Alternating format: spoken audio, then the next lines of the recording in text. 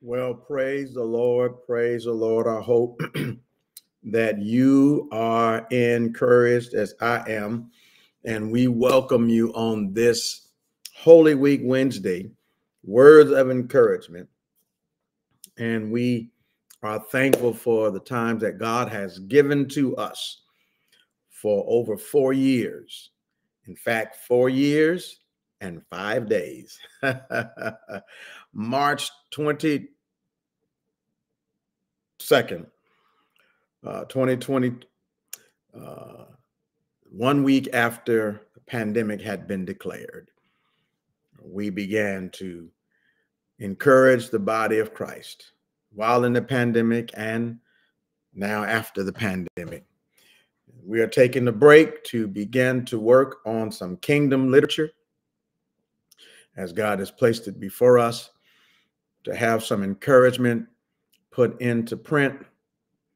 Um, and that it will outlive uh, the encourager, but the power of the Holy Spirit through the written word uh, from the Holy Word would be a blessing to the body of Christ. So that takes time, that takes energy, but it takes prayer. And I plead with the holy saints to pray the prayer of the righteous because the effective, fervent prayer of the righteous availeth much. Pray for my clarity of understanding. Pray for my clarity in writing, that I would be clear, that I would write concisely, and I would write coherently, that when people read it, they would find the simplicity of the word connected to the power of God's holy word and find themselves being encouraged in the Lord. Amen. So, many other pastors have done it and gone on before me have done that, and other people have done that. That is not a passion of mine, but it is now a assignment of mine as I listen to the Holy Spirit. So pray for me that I would be obedient and be effective and efficient in encouraging the body of Christ and putting materials out there that would be a blessing for generation after generation after generation. Amen. So, enough said about that. I'm going to miss our time together. It has been a wonderful ride. I pray that uh, you would forward as many of those uh, sessions that we have, and and we might even uh, play some and put some on loop because I just recently found out that we can go back and get some of our old stuff out of archives and loop them around. And so we might even do that uh, just uh, out of a sense of, uh, um, I lost the word. Um, when you do nostalgia, nostalgia, that people can remember what God has done over the last four years with our time together. I have been encouraged by words of encouragement uh, from others. I've been encouraged by comments I've been told of how these moments have blessed people's lives. I've been texted, I've been emailed, um, I've been told personally at church and others. And I want to thank every one of you. I want to thank every one of you for being faithful and attending. If nobody came, it wouldn't have been what it has been today. So, yes, indeed. Yes, indeed.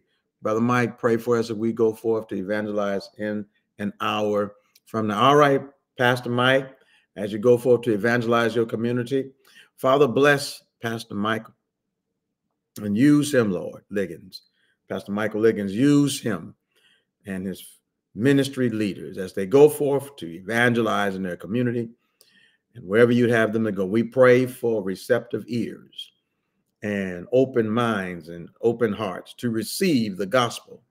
We pray a hedge of protection around them as they go. We rebuke the enemy we rebuke the demonic forces. We rebuke anybody that will come after them. We cast them out in the name of Jesus and protect them as they go. Holy Spirit, give them the thoughts and the words and remind them of why they're going to trust you and let your word do the work. In Jesus' name I pray. Amen and amen. All right, Brother Mike, go forth and be powerful in Jesus. Trust in him all the way. All right, saints and friends, let's get on started. I'm, uh, as I said, uh, going to miss our time together, but we will be back.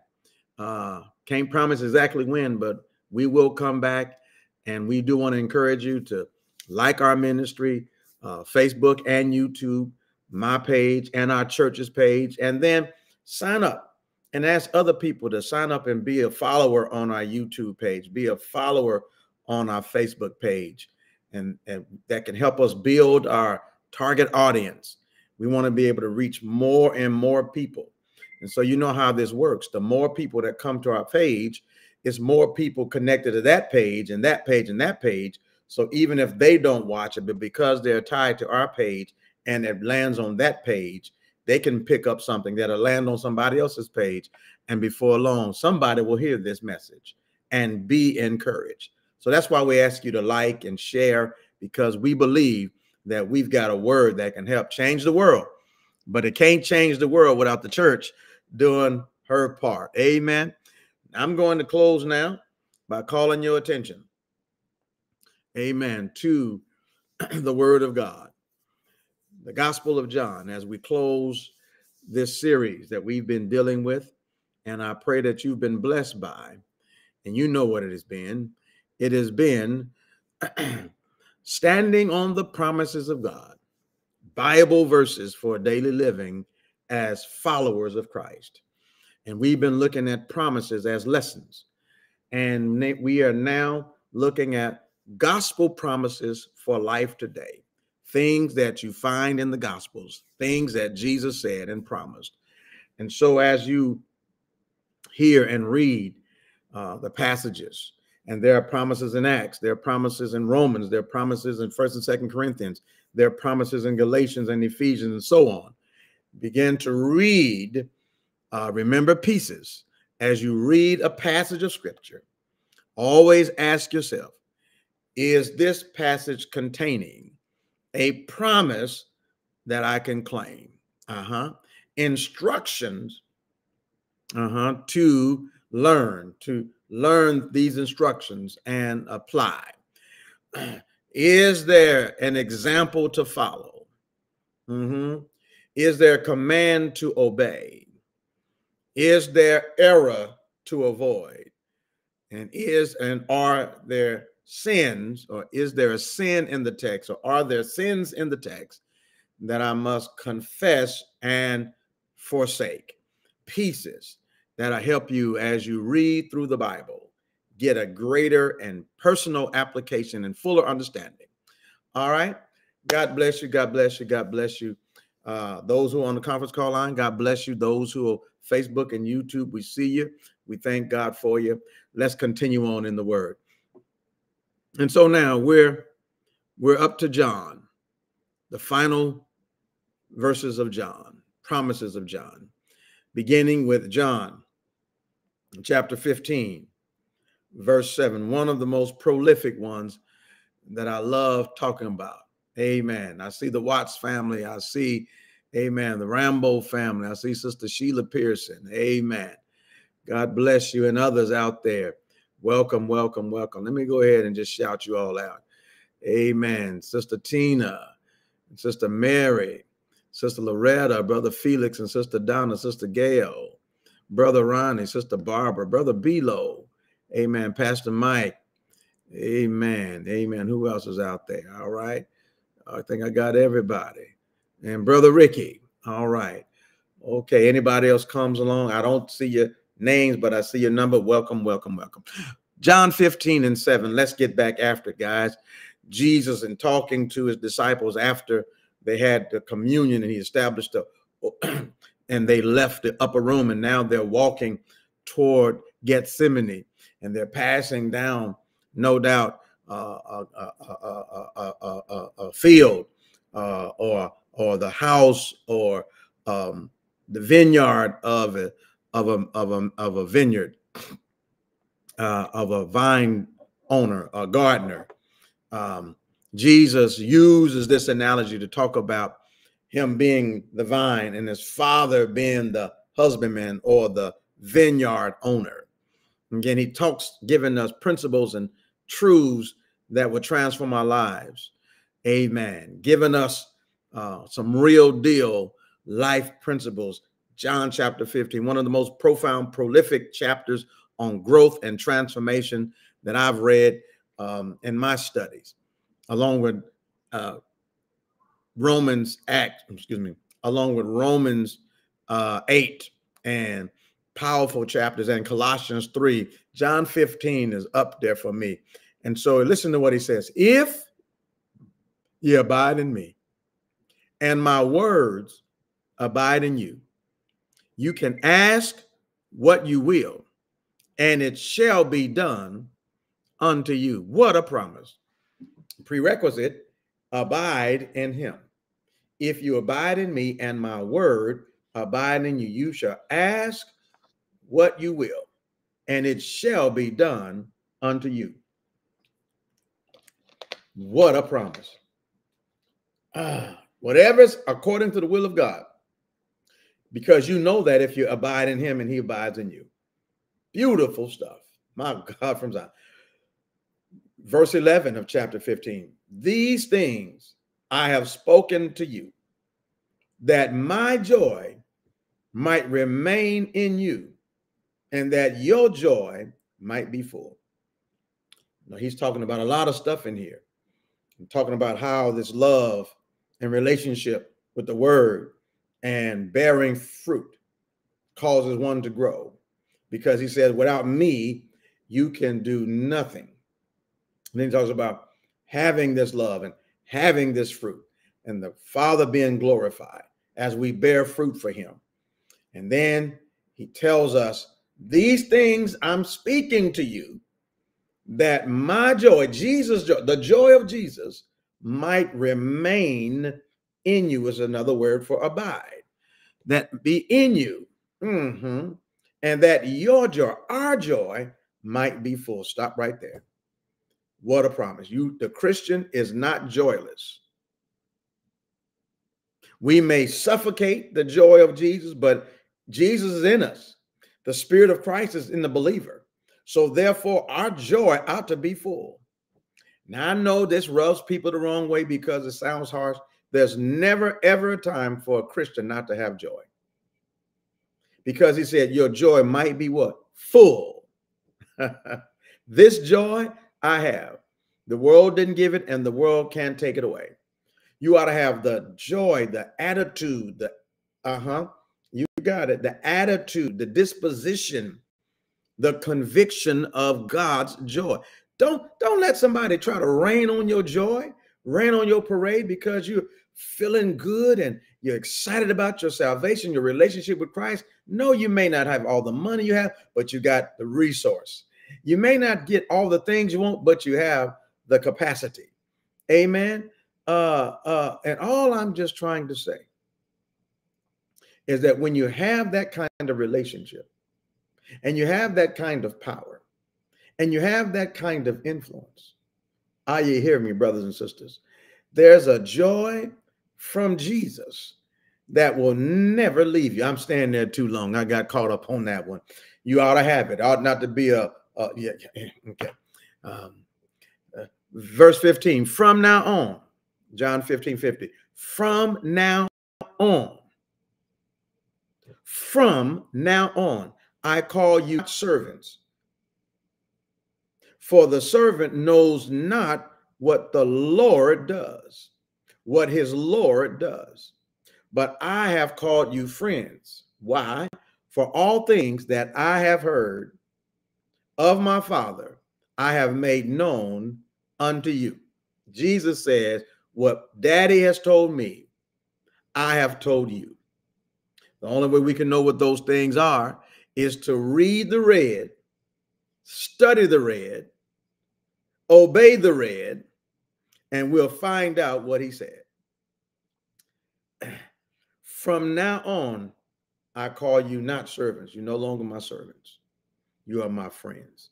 If any man be in Christ, he's a friend of Jesus because everything that needed to be said, it has been said, it has been captured, and we read it. That's why I say invest in a red letter edition of the Bible, and you can get the words of God in red letter so you won't have any mistake about what it is that God has called us to do and what he wants us to know.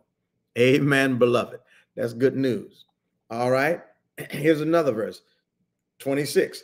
chapter 15 uh, has several strong promises in it. I told you it's a powerful book. Verse 7, verse 11, verse 15, and now listen to verse 26. But when the Comforter is come, that is the Holy Spirit, by the way, whom I will send unto you from the Father. So the Father has promised, but once Jesus gets back into heaven, he said, I will send him from the Father, which means Jesus said, I have the Father's permission to pour out on you, my believers, the Holy Spirit. My God. And he said, Who proceeds from the Father, he shall testify of me. So not only will there be a pouring out, but the Holy Spirit will testify about Jesus. He will not leave you with uh, untruths about Jesus. He will testify about Jesus. That's why you need to be filled with the Holy Spirit. So you don't have to argue about Jesus. The testimony of Jesus and the witness of Jesus will be in yourself if you are filled with the Holy Spirit. Paul captures that in Romans chapter 8, verse 16. Mm-hmm. Yeah, yeah. Uh, but that's for another day. Verse 27 of John 15 and you also shall bear witness. So not only will the Holy Spirit testify and witness, but we also shall bear witness because you have been with me from the beginning. And not only just the followers, the immediate followers, but Jesus prays for all those who the immediate apostles will influence with the word. And then Acts, excuse me, Acts 1 and 8 says, And you shall receive power after the Holy Ghost shall come upon you, and you will be witnesses. The apostles witness, and so are we. We all are witnesses, and we witness with the Holy Spirit. We are partners in the witness of Christ. Isn't that wonderful? What a powerful promise.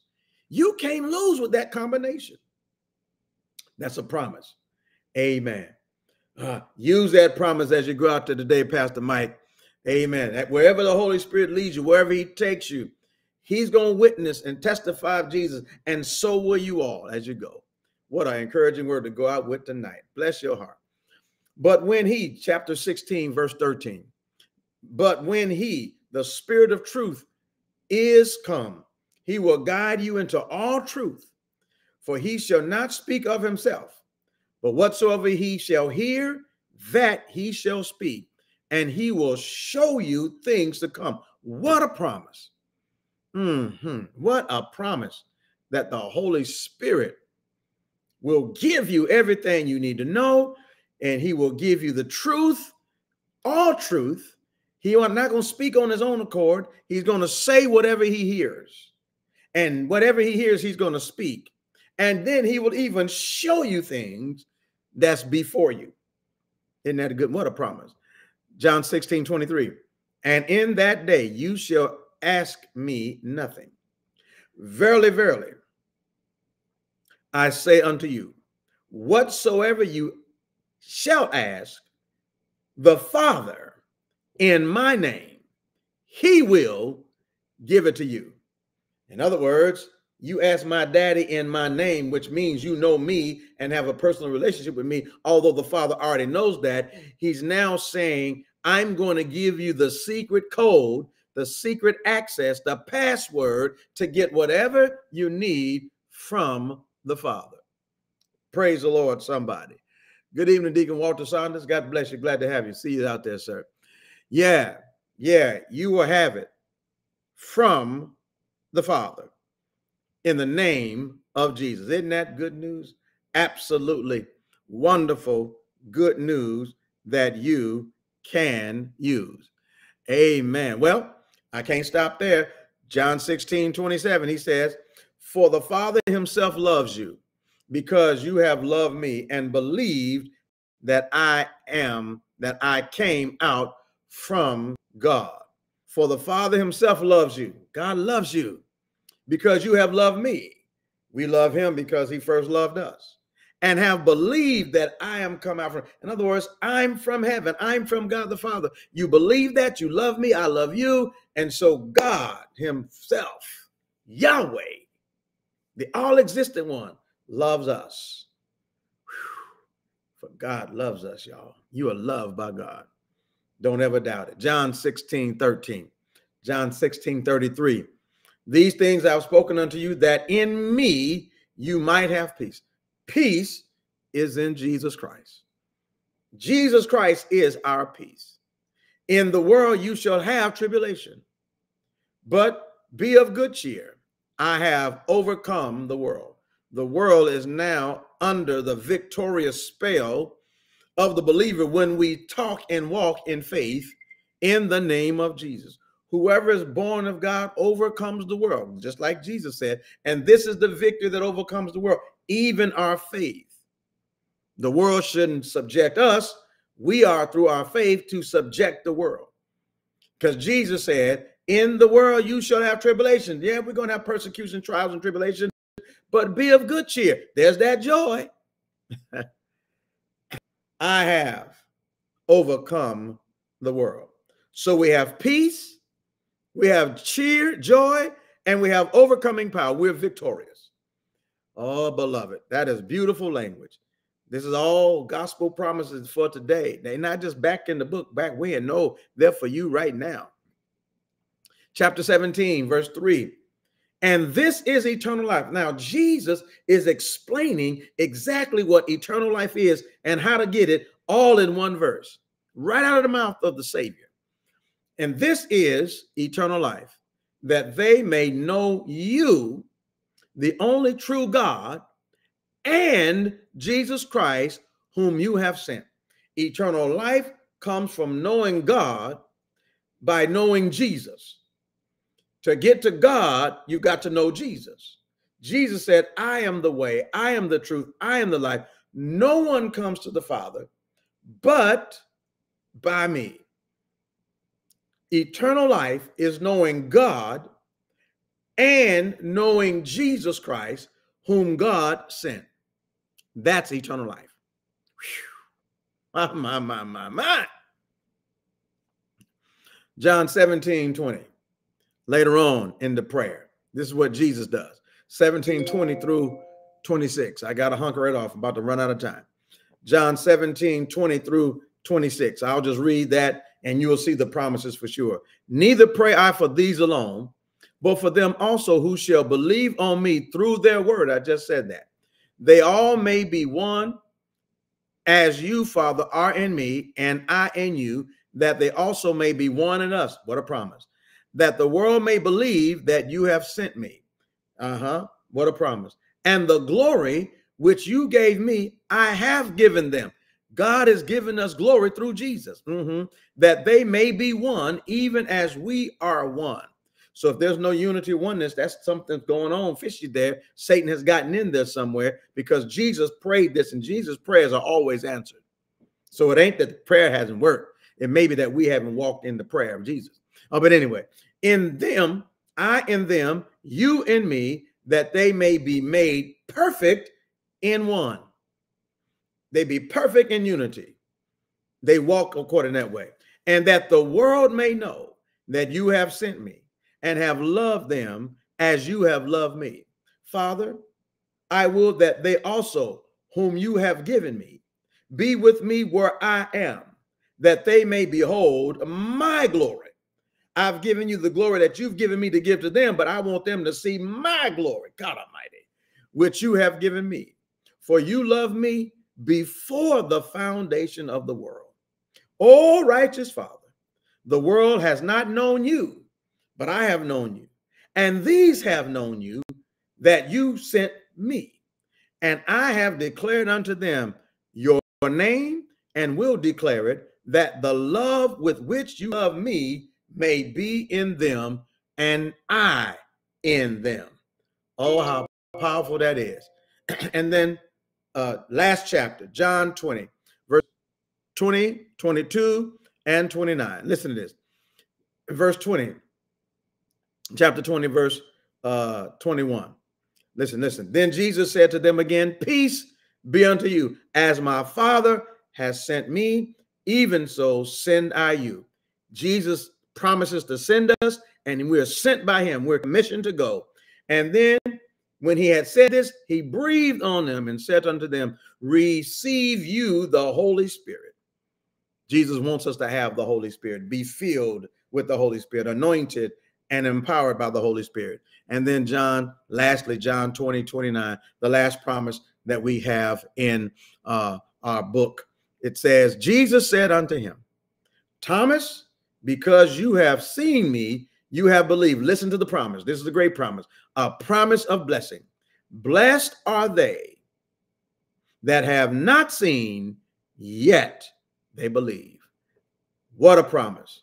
The promise of walking by faith and not by sight. You are blessed when you can learn to live without always having to see something before you see something. oh, beloved, that's what a way to end this time. Can I encourage you? Always keep your hope because faith is the substance of thing what hope for never lose your hope because if you lose a hope you lose your faith faith is the substance of things hoped for and faith is the evidence of things not seen which means i'm still going to be believing because faith and believing are, are identical twins and then you trust, even though you don't see it, you trust that what God said is going to happen. And you become more empowered to know whatever you're believing God for and you're hoping God for, your faith now moves you to what you believe. And then you end up seeing what you saw before you actually physically saw it. Well, I got to stop, y'all. Amen. Amen. This has been a wonderful time. Thank you, Lord Jesus, for four years and five days of encouraging words with my brothers and sisters in the pandemic, throughout the pandemic.